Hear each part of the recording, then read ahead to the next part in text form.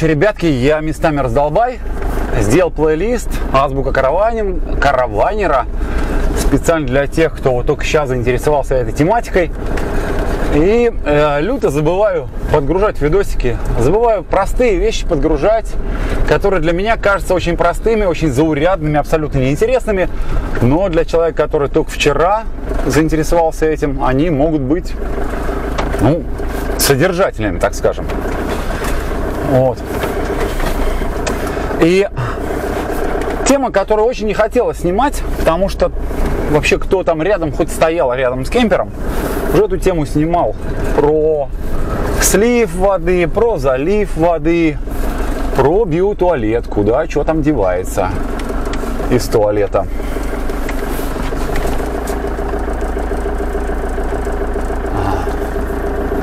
И, короче... Э, Макс, все, нет, уехал. И мне эта тема кажется достаточно понятная, заурядная, неинтересная, но для меня. А для человека, который много лет с этим связан, который живет, уже года 4, наверное, в кемпере. А для человека, который только вчера заинтересовался и так получилось, ну, попал он сразу ко мне на канал. Для него эта тема будет интересной. Ну, как интересный, просто это будет ответ на вопрос который я перечислил. Ну куда ж ты, родной? Ну что ж, блядь? А-а. Не-не-не-не-не. Блядь, баран, блядь.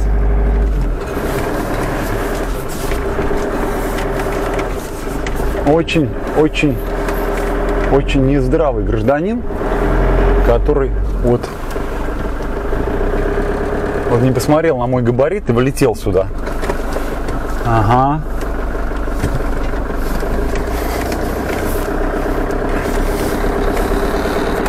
О чем я? Сейчас я выйду на дорогу, чтобы мне спокойнее говорить с вами.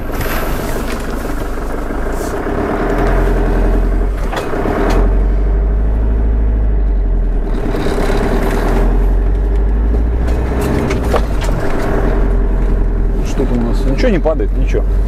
А, так вот, вопрос этот возникает у людей периодически. Что делать, как делать? Я не буду освещать там нерекомендованные версии, потому как люди разные бывают. Бывают более здравые, как я.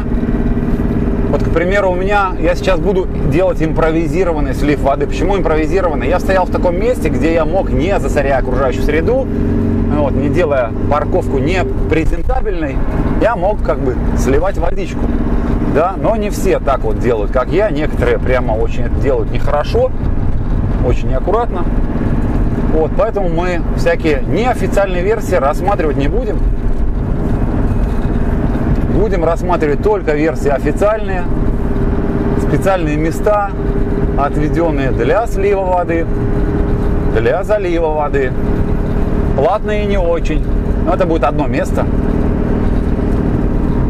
для слива туалета и для заправки газа. Про газ я, наверное, сниму сегодня, но выложу это, наверное, отдельное видео. Вот. По крайней мере, про водичку и туалет мы будем рассматривать. А пока нечего смотреть на меня. У нас тут не то чтобы вот красивый, где-то очень красивый, где-то очень живописный вид. Где-то он попроще, тем не менее.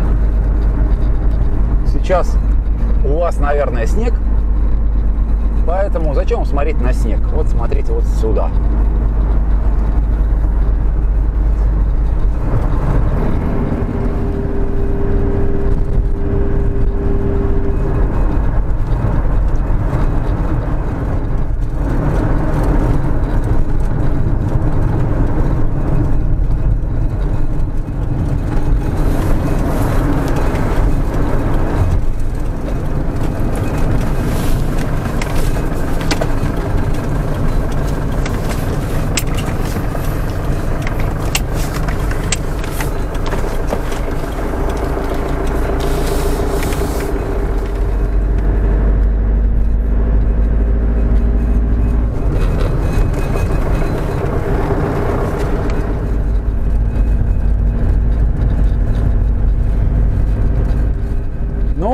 Специально отведенные места. Это вот то место, куда мы сейчас будем заезжать. Или будем заезжать со второго захода, потому как оно там занято.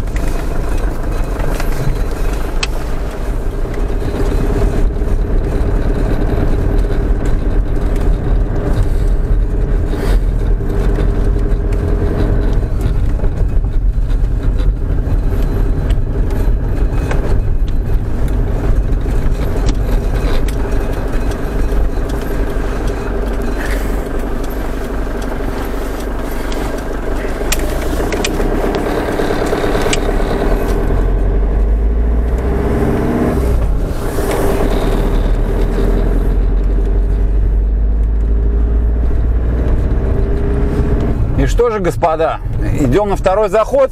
И я очень надеюсь, что у нас местечко для слива импровизированной воды, которой у меня там практически нет, свободно. И я смогу вам показать, как происходит процедура слива воды, какими способами производится залив воды, туалет и прочее. Итак, Наблюдаем впереди по курсу. Стоит такая колоночка, да?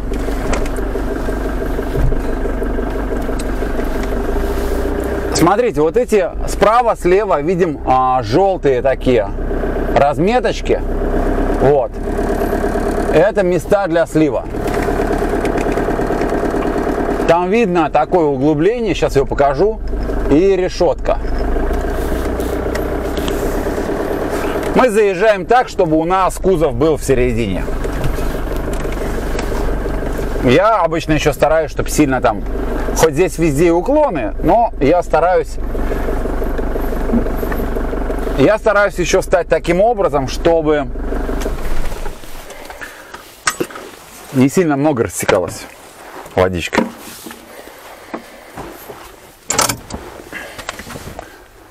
Идем, пойду покажу. Короче, я сейчас ради вас подвиг совершил.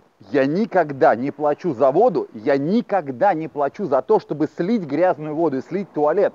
Но я это делаю цивилизованно. И, ну, мне же нужно вам показать. Смотрите, какая штука. А, значит, смотрите, ребятки. У нас что имеется? У нас имеется вот этот вот желтый квадрат, такая разметочка. И вот здесь вот, я вам сейчас покажу, тоже она есть. Вот здесь вот. Вот, вы видите, да? И здесь какая штука сделана? Да? А здесь везде по плоскости идет такой уклон. И в середине есть дренажная решетка, куда у нас сливается водичка. То, что я сейчас и сделаю у себя. Но так как у меня почти пустой бак, поэтому я делаю следующее действие. Иди-ка сюда, я тебя сюда поднесу, чтобы ты мог все это видеть, дружочек. У всех на самом деле сделано все по-разному. Ну, вот у меня так. У меня такая есть штука, ее мы тянем, и у нас открывается солив. И у нас вся эта, ну да.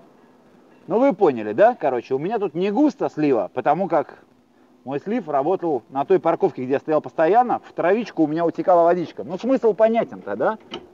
Так. Итак, дружочек, двигаемся дальше. Ценники. Банье, слить сортир рубль это слить водичку Ленадо Агва. Я думаю, это да, слить. И сервиса комплекта, ну типа полный комплект 3 евро.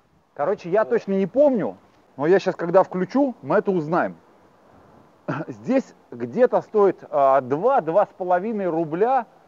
Вот я не знаю, как тут исчисляется. Сейчас я вот а, уточню этот момент.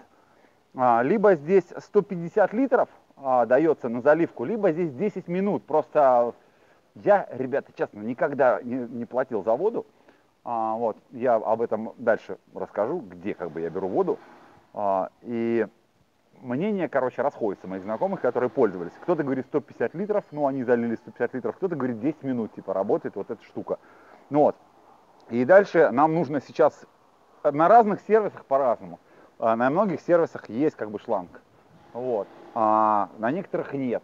Вот здесь вот э, он был, сейчас его и не вижу, да? Сейчас я возьму свой шланг и будем мне заливать водичку.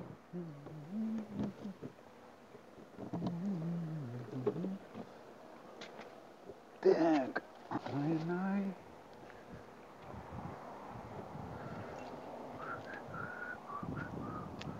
Так. Кстати, ребятки, прошу обратить ваше внимание – я буду в этом ролике неоднократно ссылаться на один видос, а, там, пару годовалой давности, там, где а, видос называется «Что нужно караванеру в дороге». Видим, вот здесь вот видим такую резьбовую штучку. И вот в том видосе я говорю про ту его хучу разных переходников для воды, для газа, для много всего. И вот это, наверное, самая часто вот в Европе для меня нужная, часто встречаемая штука, которая нужна. Вот это вот навинчивающаяся часть сюда, на кран. Сейчас покажу.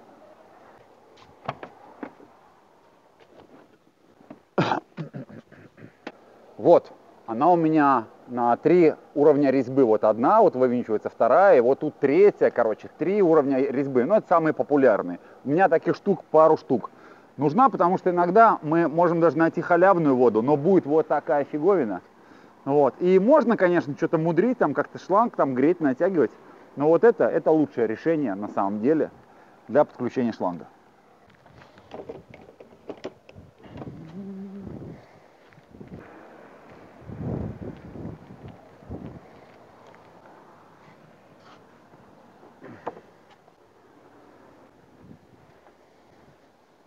Так где наша заветная монетка?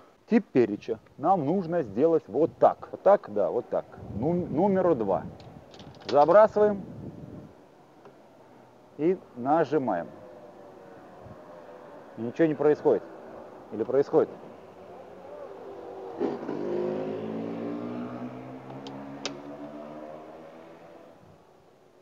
И нихуя не происходит. А нет, происходит. Не, а не происходит.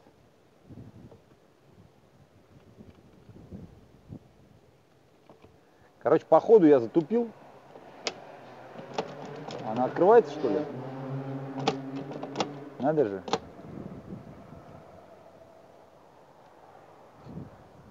А нет, слушайте, ребят, она работает, короче. Но оно действительно как-то по времени. Раньше работала вот эта вот фиговина, короче, да, а, шкала времени. Поэтому, что я сейчас буду делать? Я не знаю, возможно, по времени работает. Поэтому у меня там есть ведерочки сзади и мы их заполним, как только у меня польется. А как определить, что полный бак? У приличных кемперов, да, льется. У приличных кемперов а, сделан а, пере, такой переливной разъем. Вот. Переливной разъем, когда бак полный, он начинает туда заливать. Вот. Сейчас мы его зальем у меня там сзади, у меня сзади есть вот ведерочка для того, чтобы опреснять гидрак. И вон там канистрочка, я ее осушил, черная, плохо видно. Вот у меня есть белые, как бы, они чисто для воды, а черную я осушил для топлива, типа, сделал. Вот, но я думаю, зачем как бы это, зачем не расходовать как бы то, что, за что уже заплачено, да, если можно его израсходовать. Сейчас пойдем сливать сортир, это будет самое интересное. А там приезжают на парковку разные наши местные э, известные личности. Там вот гражданин приехал газ менять. Как дела, Лободена? Короче, а, парень из Литвы, он здесь живет, делает доски. Хорошие доски делает. Вот. Что у нас там с водичкой? А я для чего еще вот в бутылочку иногда заливаю воду. А, иногда я пользуюсь там, к примеру, возможностью таких вот сервисов на халяву, да, заливаю воду. Ну там, ну в смысле сливаю сортир, ну сейчас я покажу. Вот. И если не платить, да, то тогда водички не будет, чтобы промыть кассету. Ну, ее можно не промывать, но лучше промыть, да.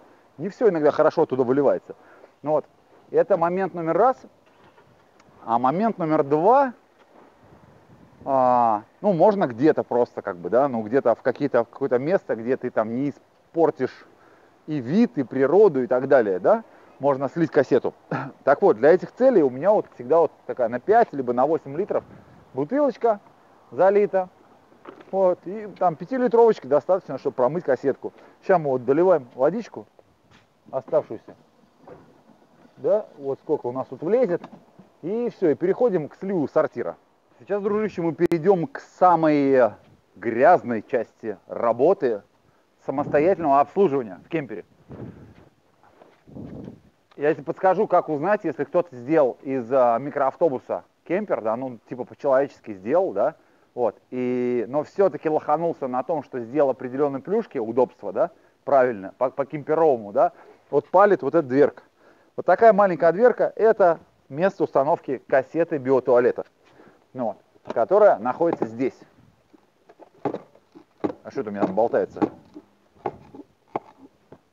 Не знаю, неважно. Вот, значит, вот это мы имеем кассету биотуалета. Она блокиратор такой шелеп, поднимается, она достается. И вот, все, что ты кушал здесь. Вот. Далее. И идем туда, где мы будем это утилизировать. Ну, конечно, может выглядеть вот так вот посимпатичнее, но что-то тут не работает. И оно на замке. Поэтому пойдем к более старинной конструкции. Вот это более старинная конструкция. Смотрите, ребят, в Европе где-то, я лично не видел своими глазами, только видел там что-то в этом, в Ютубе, в телевизоре, а, существуют такие прямо автоматы. Я не знаю, как они работают, абсурд какой-то, потому что там нужно отвернуть эту горловину, открутить крышку. Но, может, может я и не видел, может, мне Серега рассказал, а я поверил и представил себе. И так представил, что показал, что видел. Говорят, что есть автоматы, там, где типа кассету вставляешь, брезгливый а, европеец, да, либо россиянин. Ну вот, кстати, плане брезгливости наш народ более брезгливый почему-то. Ну вот. А, и все, типа там все само происходит. Да. Я такого не видел. В основном это вот по такому плану. Здесь вот у нас две кнопки для, чтобы отсюда вода потекла, смыть, слить, промыть кассету. Но за это надо платить. Я платить не буду. Поэтому смотрим, как я это делаю. А я это делаю,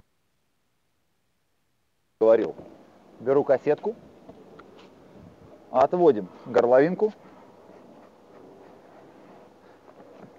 Здесь есть такая крышка для развоздушивания, да, чтобы оно не блум-блум, не, не всасывалось.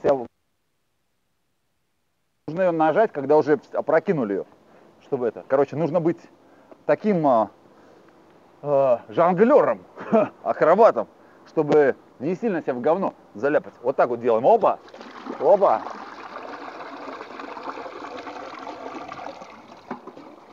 Так вот, потом потрясли хорошенечко. Да? Ну вот, я даже чувствую по весу, что не дотрясли. Поэтому обычно мы пользуемся вот той фиговиной. Открываем вот эту систему. По моему методу будем работать. И заливаем сюда литрика 3 водички. Оба. Потом закрываем делаем вот так. Переворачиваем опять. Оба. В этот раз более эффективно. Потом делаем еще раз. Дублируем эту процедуру. Обычно я не жалею водички, она обычно для меня халявная, кроме сегодняшнего дня ради вас. Вы мне, кстати, 3 евро теперь должны. Вот, выливаю оставшийся. И еще раз делаю. Вот так вот. И у нас уже почти что там все прямо это, прямо, прям пить можно оттуда, но я не буду. Вот. Закручиваем, опускаем горловинку, вставляем, заливаем реагент. Обычно 100-120 грамм.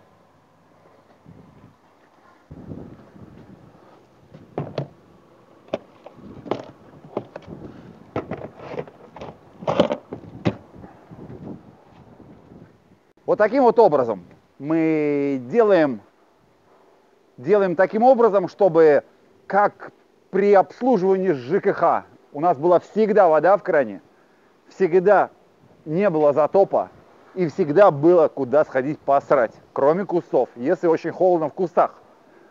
И где-то через неделю тут появится где-то тут ссылка, вот, в которой я вам расскажу о полном криминале, очень опасном и агрессивном. Как и откуда берется газ для плиты. Мы это делать будем тотальнейше незаконным образом, с нарушением всех правил техники безопасности. Мы будем делать так, как этого делать нельзя. Но у меня есть связи, и я смогу вам не только, не только я могу пользоваться этим, но и могу показать вам. Все, адьос.